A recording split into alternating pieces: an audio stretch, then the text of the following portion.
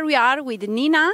She won the class of Young, Youngster European Cup on Friday, and uh, she would like to tell us something about her, her life, and the horses that she had here.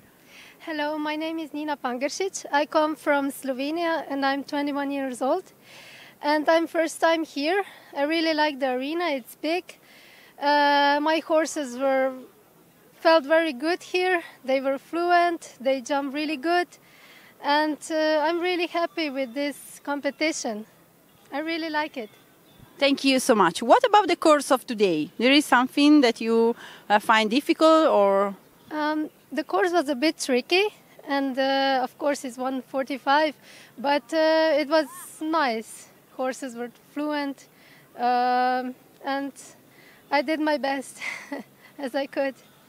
Thank you so much, Nina. Thank you.